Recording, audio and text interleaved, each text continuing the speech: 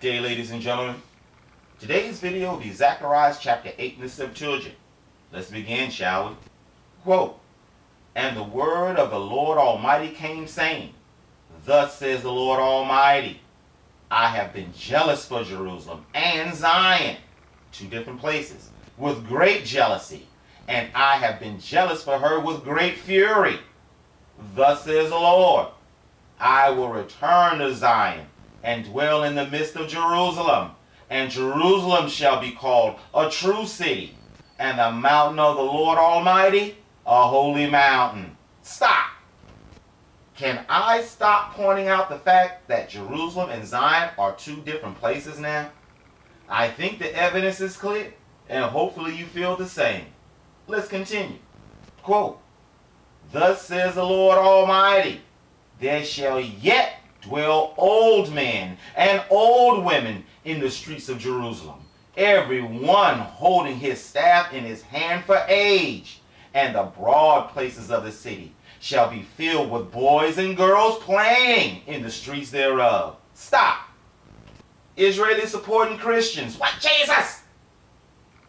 Mm, mm, mm. Has there ever been a time in the history of the Jew boy Israeli's existence where this joyful event has, or even better question, could ever happen in the state of Israel? I think we all know the answer to that. Let's continue. Check out Yah's holy talk. Quote, Thus says the Lord Almighty, if it shall be, future, impossible in the sight of the remnant of this people in those days. Stop! Mm.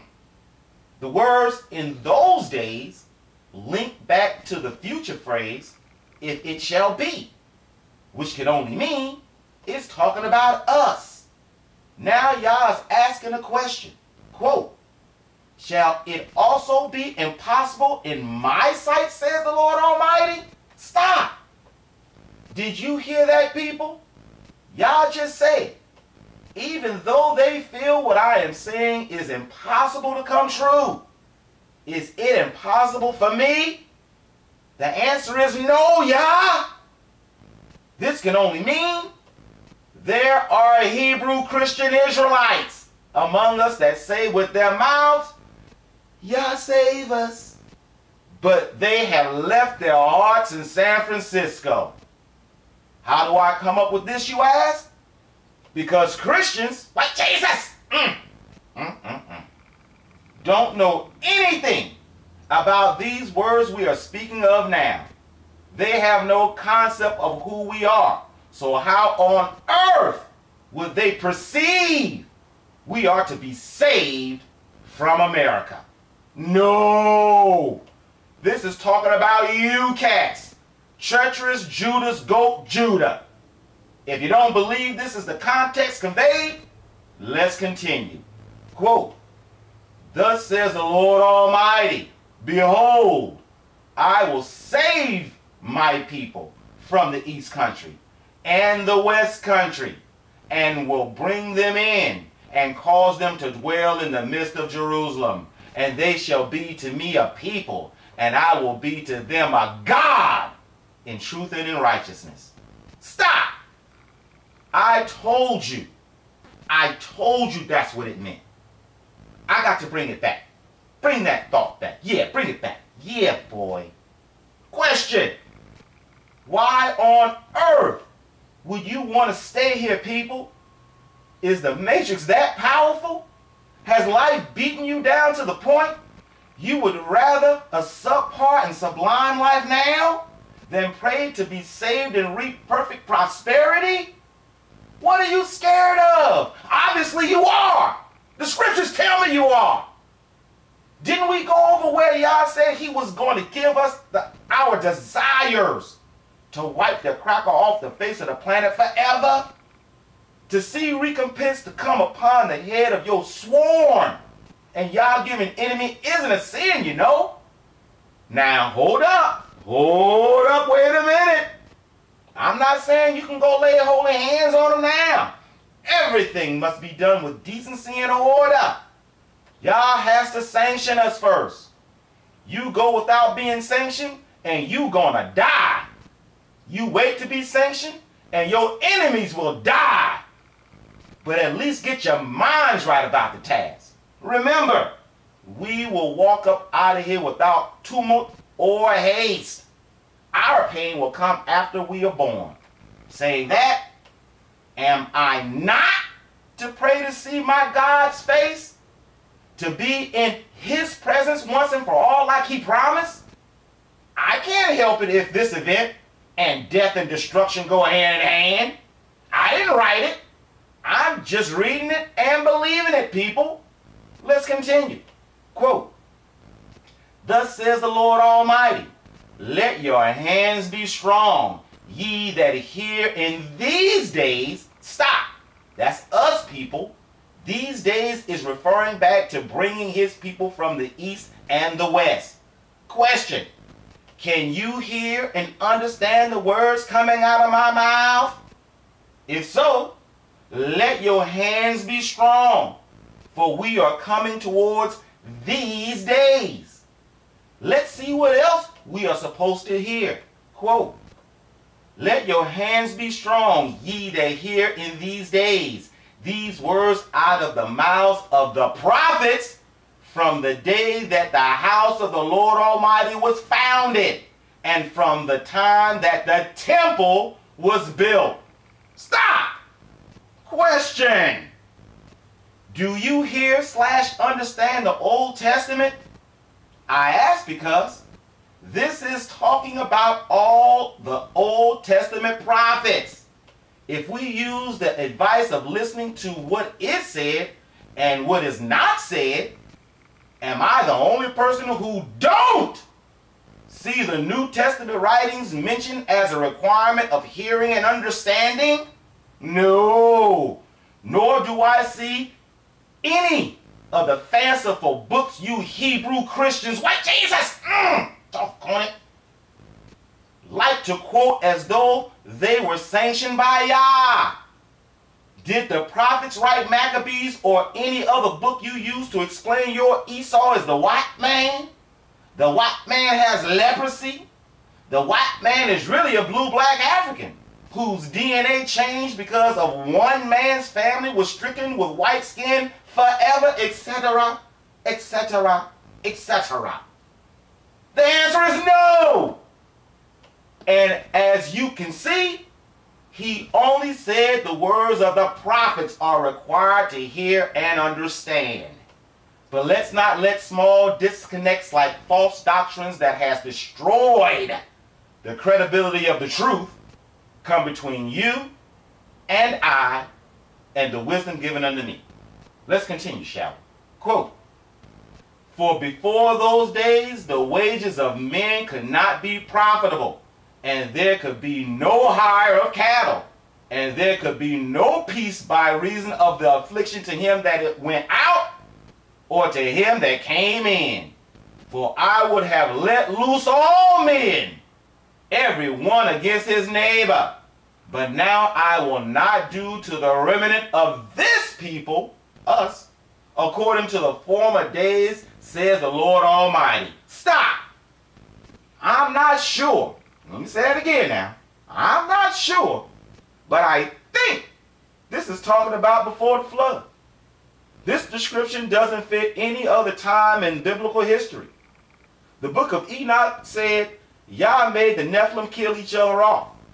The Old Testament is littered with references of Yah making our enemies fight each other, and then he mopped them up.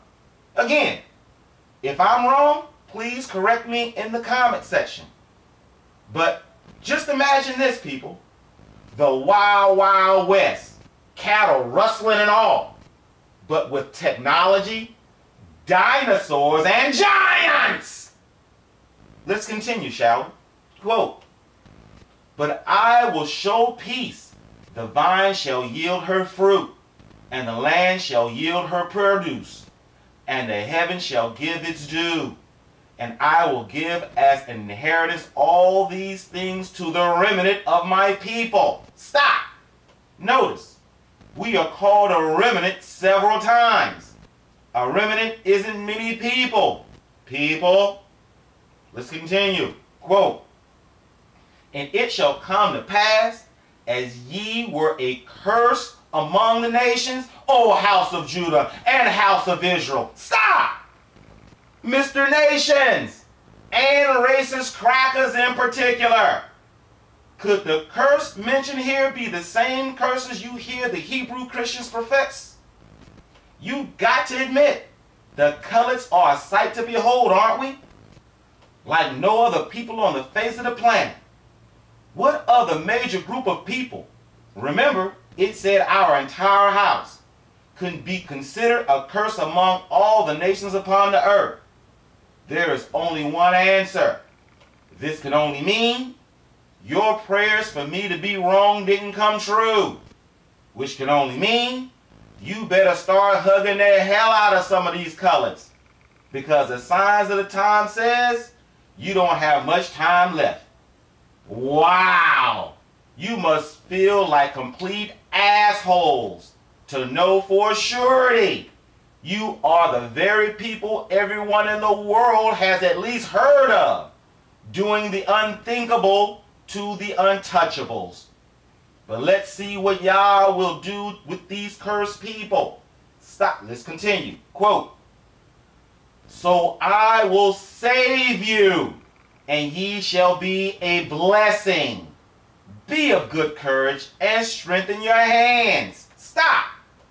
According to Google and myself, the meaning of the word save means keep safe or rescue someone or something from harm or danger. Set free, free, liberate, deliver, bail out, which can only mean we needed to be rescued, which can only mean we are in the midst and in the clutches of our enemy's devices, evil geniusly masquerading to look as though we are moving on up to the north side to a deluxe apartment in the sky high high. Where the grits don't burn in the kitchen and the beans don't burn on the grill. Cracker told you to pull yourself by your own bootstraps just to get up that hill. Now you're up in the big leagues, getting your turn at bat. As long as you can live is get rich or die trying, ain't nothing wrong with that. But let's continue. Quote, For thus says the Lord Almighty, as I took counsel to afflict you when your fathers provoked me, says the Lord Almighty, and I repented not, so have I prepared and taken counsel in these days to do good to Jerusalem and to the house of Judah. Be ye of good courage. Stop. So the scriptures do give us a sneak peek into how Yah does his bidding. It said Yah took counsel to punish us and took counsel to bless us. In the Jezebel story, we get a sneak peek into how the council goes down. But did you hear the shout out Yah gave us here in America? It's obvious. We have suffered the most by the worst. I think Yah called it a furnace of affliction. Man, that's that is one deep quote. That's one deep quote. A furnace of affliction. Wow. Let's continue. Quote, Speak truth, everyone, with his neighbor. Judge truth and peaceable judgment in your gates. Stop. Yet another indicator the Judas goats in sheep's clothing are just that. Judas goats in sheep's clothing. This says to speak the truth with your neighbor. Judge the truth with a peaceable resolution. It doesn't say look like a bull caught in a net at the head of each corner, screaming obscenities while preaching absurdities, looking like a bull beat in the process. Your gates, even in Babylon, means your hood, your community. Seeing we are supposed to be separate, and you know this, your actions are outside of decency and order. But don't be fooled. There are some pretty smooth cats out here. They look the part, act the part, with olive oil voices and Israelite charm, but their message is nothing more or less than Christianity. White Jesus! With a flash of defiance here and token resistance there. But let me put this darn soapbox away. Let's continue. Quote, and let none of you devise evil in his heart against his neighbor, and love not a false oath. For all these things I hate, says the Lord Almighty. Stop! All the lying, cheating, and stealing going on in our community, we act like predators. Our motto is, do unto others before they do unto you. They say, when a property crime is committed, it is usually done by someone that you know. But wait! Check out how the evildoers have made the love of a false oath cool and respectable. And because of the death by cop craze, a necessary evil in our community. Although everybody knows exactly who broke into your house, smoked up all your weed, how they cooked and ate up all your food, let your dog out the fence, took your porno stash with personal once in a lifetime footage. Everybody knows how much drugs they got for your TV, your PlayStation, and jewelry, and know what other crimes they committed with your stolen gun. Yeah! The cool and respectable phrase you will hear throughout the hood is, no snitching, nickel. But let's continue, shall we? Quote, And the word of the Lord Almighty came to me, saying, Thus says the Lord Almighty, the fourth fast, and the fifth fast, and the seventh fast, and the tenth fast shall be to the house of Judah for joy and gladness, and for good feast, and ye shall rejoice and love ye the truth and peace. Thus says the Lord Almighty, Yet shall many people come, and the inhabitants of many cities, and the inhabitants of five cities shall come together to one city, saying, Let us go to make supplication to the Lord, and to seek the face of the Lord Almighty. I will go also, and many peoples and many nations shall come to seek earnestly the face of the Lord Almighty in Jerusalem not his holy mountain, mind you, and to obtain favor of the Lord. This sounds strange. Look, we're going to keep going. Quote, Thus says the Lord Almighty, in those days my word shall be fulfilled if ten men of all the languages of the nation shall take hold, even take hold of him of the hem of a Jew, saying, Listen to what they say now. We will go with thee, for we have heard that God is with you. Example. Am I the only person to notice it will be 10 men of all the languages of the nations doing this? Not just 10 crackers from America. I said it like that because I didn't want him to start crunching the numbers to see if he had a fighting chance. Besides, the context of this story is these particular people didn't have a person have any personal contact with us. Meaning they are not one of the unlucky we will lay holy hands upon. Why do I say this? Because they will say they heard that God is with us. The cracker that will be at the receiving end of our vanquishing throttling, crying like women in pains, will know that God is with us. Big difference with just one word. One last observation before I let you go. Notice it didn't say, We will go with thee, for we have heard God is with us. Now did it. Thank you for looking at this video, and look for the next. Truth.